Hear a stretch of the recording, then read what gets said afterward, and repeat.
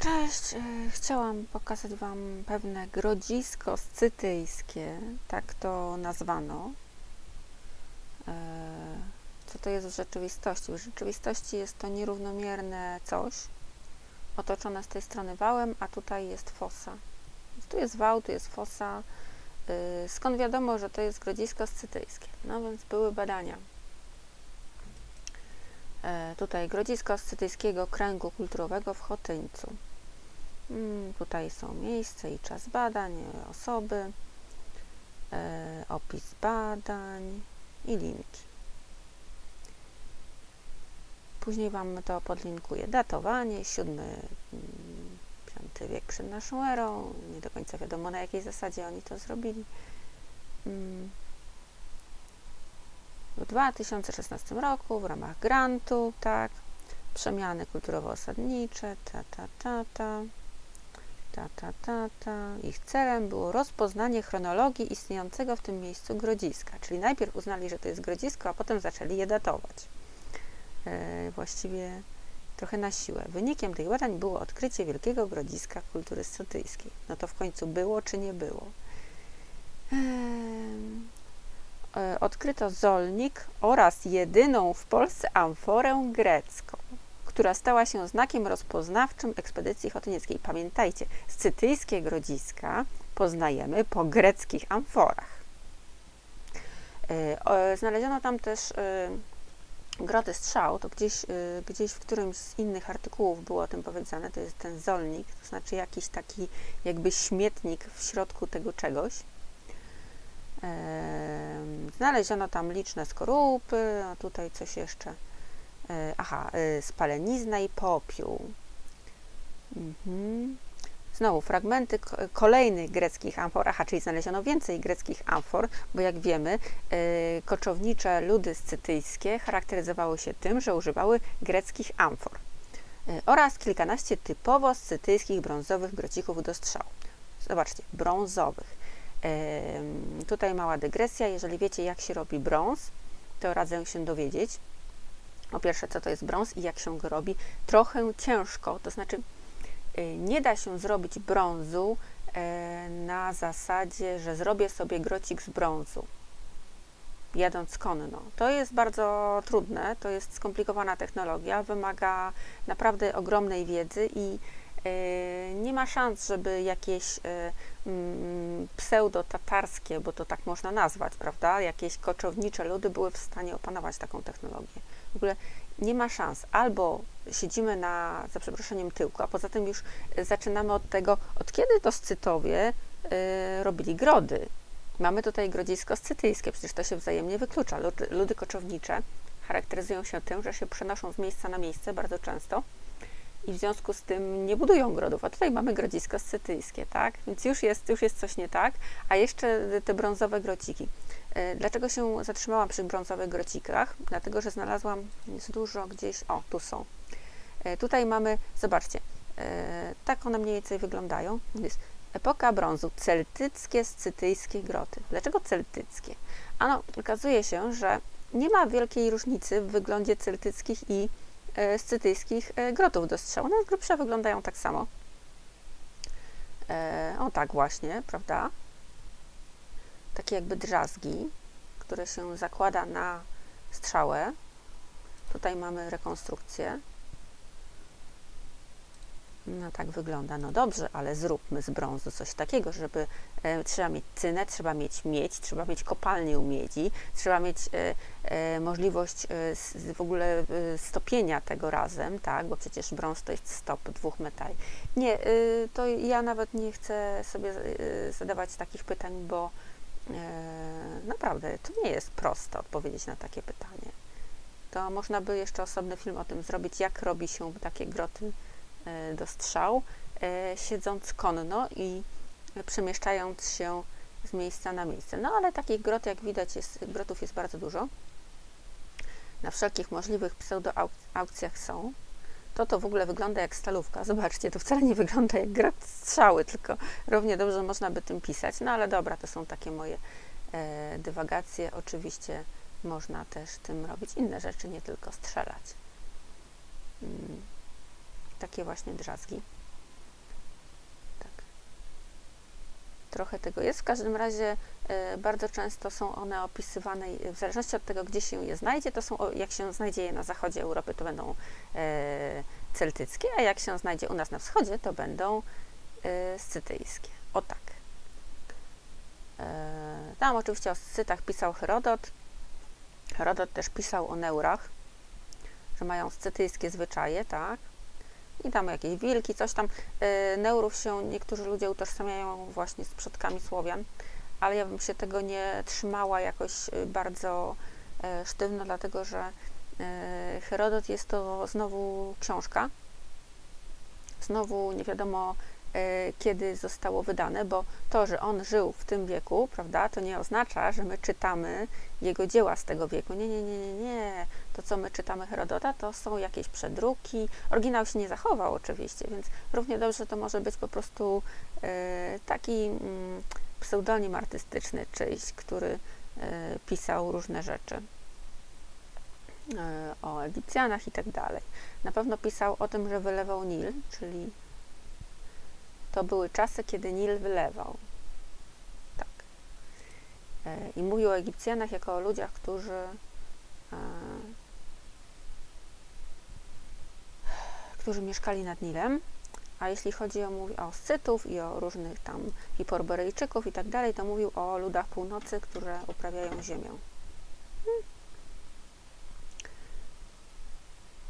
Tak, także o. E, dlaczego w ogóle zaczęłam myśleć o tym? Ponieważ obejrzałam je na geoportalu, to grodzisko, wracając do tematu.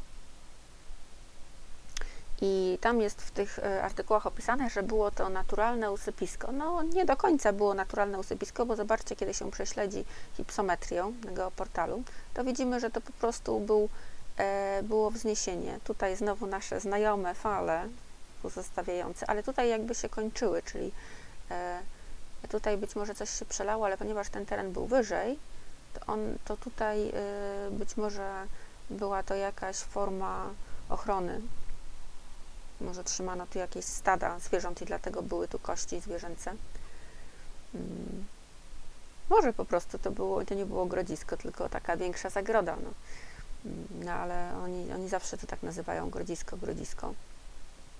Tutaj mamy e, teraz miasto, miasteczko, no właściwie wioskę z cerkwią.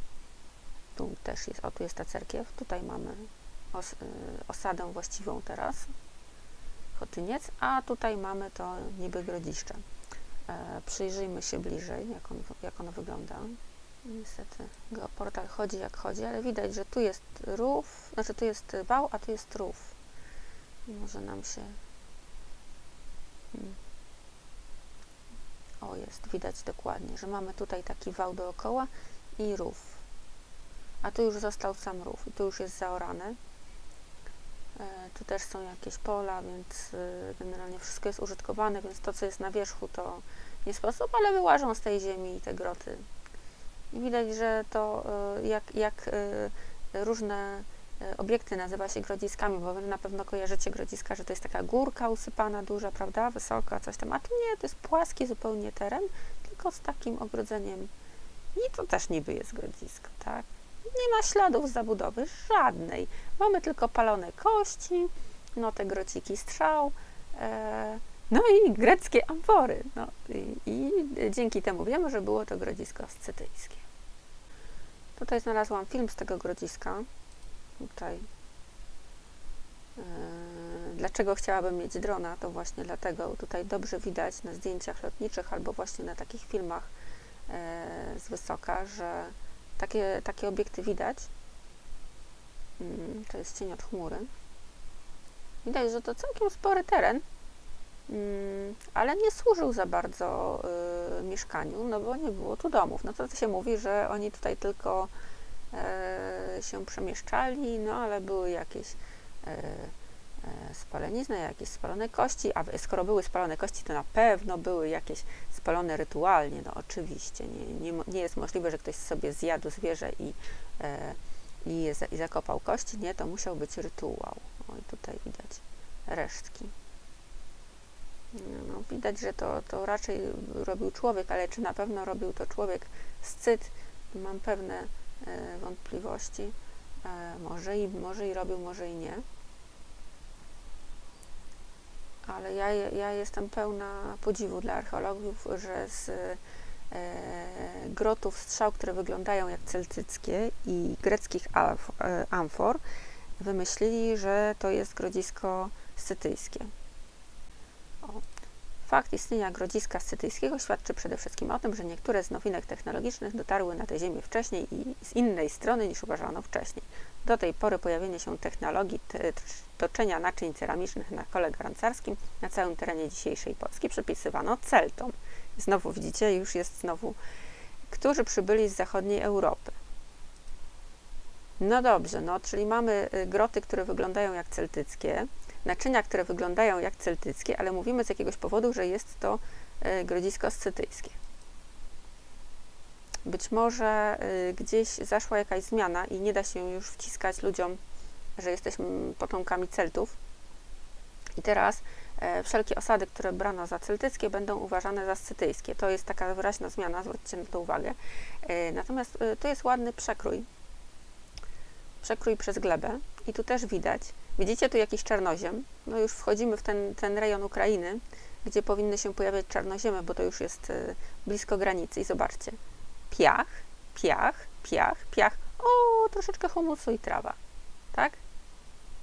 I to wszystko tak wygląda. Więc mamy y, coś usypane z piachu. Na satelicie widzimy taką rzecz. To jest porośnięte, ale bardzo młodymi krzakami. Tu też jakieś młode drzewka, więc tu jeszcze niedawno nic nie było. Łyse pola. Dalimy trochę. E, tu już się zaczynają lasy, w których się zachowały te wszystkie e, łachy piachu. Widzimy, że tu jeszcze coś jest, tak jakby drugi poziom wału, wałów, tylko się e, do niego nie dokopali, bo nie oglądali archeolodzy tego zdjęcia, co jest typowe. A tutaj znalazłam obok takie coś, co trochę mi przypomina zarys miasta gwiazdy. Ja wiem, że to y, może być y, złudzenie, ale takie jakieś coś y, mi się tutaj jawi. I ja się zastanawiam, bo wydaje mi się, że gdzieś y, widziałam Chotyniec y, y, zaznaczony na jakichś starych mapach jako miasto gwiazdy, natomiast nie ma tu oczywiście śladu po żadnej gwieździe. I no jeżeli widzimy, że tutaj się przelewała woda, bo są jakieś takie ślady ogromnych powodzi, no to ja się nie dziwię. Możliwe, że to były tylko wały ziemne E, może trzeba tu znowu coś pokopać. No, to jest właśnie satelita z Google. Widzicie, wygląda mniej czytelnie, no ale coś tu widać. Zajrzyjmy na tamtą część, która mi się kojarzyła z gwiazdą. No, tu lepiej widać. Widzicie, takie pyk, pyk, pyk, pyk. E, są takie gwiazdy prostokątne, to znaczy e, e, nie są po elipsie, nie są wielokątne, tylko są takie leciutko na kształcie prostokątna i to bardziej mi się z tym kojarzy. O tu znowu taki e, rów, nie wiadomo po co i dokąd, prawda? To on mi się tak, o tutaj coś jest, jakby e, tutaj znowu coś widać, także o tutaj coś, także warto, e, warto oglądać różne satelity, bo można e, coś tam dojrzeć.